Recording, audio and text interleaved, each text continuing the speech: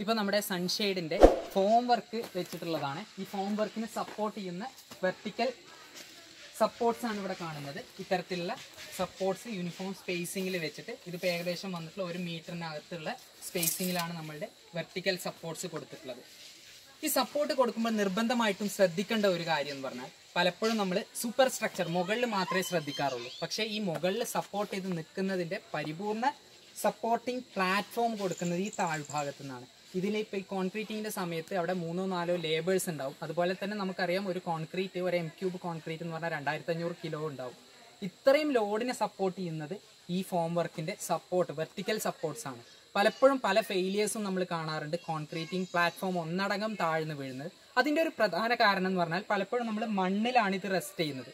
ഈ മണ്ണിൽ റെസ്റ്റ് ചെയ്യുന്ന സമയത്ത് നമ്മൾ കോൺക്രീറ്റിങ്ങിന്റെ മുന്നോടിയായിട്ട് നമ്മൾ കോൺക്രീറ്റിംഗ് പ്ലാറ്റ്ഫോം നന്നായിട്ട് വെള്ളം വെച്ച് നനച്ചു കൊടുക്കും. ഈ നനച്ചു കൊടുക്കുന്ന സമയത്ത് അത് മണ്ണിലേക്ക് താഴേക്ക് ഇറങ്ങും. നമ്മളുടെ ഇത്തരത്തിലുള്ള വെർട്ടിക്കൽ സപ്പോർട്ടിംഗ് പ്ലാറ്റ്ഫോം മണ്ണിലേക്ക് കുഴിഞ്ഞു പോകാൻ സാധ്യതയുണ്ട്. അത്തരത്തിലുള്ള പഞ്ചിങ് ഫെയിലിയർ സംഭവിക്കുമ്പോൾ ഈ ഒരു പ്ലാറ്റ്ഫോം സപ്പോർട്ടിംഗ് പ്ലാറ്റ്ഫോമിൽ അതിനെ സപ്പോർട്ട് ചെയ്യാനുള്ള കപ്പാസിറ്റി ഇല്ലാണ്ട് വരുമ്പോഴാണ് ഇത്തരത്തിലുള്ള സഡൻ ഫെയിലിയറും അതുപോലെ തന്നെ കൊളാപ്സും സംഭവിക്കാറ്.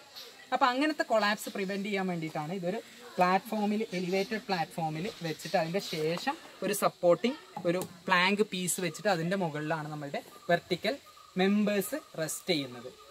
ഇപ്പം നമുക്കിവിടെ കാണാൻ പറ്റും നമ്മുടെ ത്രൂ ഔട്ട് ദ ഹൗസ് ഈ ഒരു സൺഷെയ്ഡിന്റെ പ്രൊജക്ഷൻ ആണുള്ളത്. ഉള്ളത് ആ പ്രൊജക്ഷന്റെ ഫോം വർക്കാണ് ഇവിടെ കാണുന്നത്. ഇനി നമ്മുടെ ലിൻഡൽ കോൺക്രീറ്റിങ്ങിന്റെ കൂടെ തന്നെയാണ് ഈ ഫ്രണ്ട് ഫേസ് ഇതിപ്പോ വീടിന്റെ ഫ്രണ്ടിലാണ് നമ്മളുള്ളത്. അപ്പോൾ ഫ്രണ്ടിൽ ഈ ഒരു താഴ്ഭാഗത്ത് ഇതിന്റെ താഴെ ചുമരില്ല. അതുകൊണ്ട് തന്നെ ഇവിടെ ഒരു അഡീഷണൽ ബീം കൊടുക്കുന്നുണ്ട്. ആ ബീമിന്റെ റീൻഫോഴ്സ്മെന്റ് ആണ് ഇവിടെ കൊടുക്കുന്നത്. ഇവിടെ നമുക്ക് കാണാൻ പറ്റും മുകളിൽ രണ്ട് ട്വൽവ് എം എം ബാറും ഒരു ടെൻ എം എം ബാർ നടുവിലായിട്ട് അതുപോലെ തന്നെ താഴ്ഭാഗത്ത് രണ്ട് ട്വൽവ് എം എം ബാർ ഒരു ടെൻ എം എം ബാറായിട്ടാണ് ഇവിടെ കൊടുത്തേക്കുന്നത്. അതിന് കൊടുത്തിട്ടുള്ളത് എയ്റ്റ് എം എം സ്റ്റിറപ്പ് വെച്ചിട്ട് ട്വന്റി സെന്റിമീറ്റർ സ്പേസിങ്ങിലാണ് നമ്മളുടെ ഇവിടെ ഈ ഒരു ബീമിന്റെ സ്റ്റിറപ്സ് കൊടുത്തിട്ടുള്ളത്.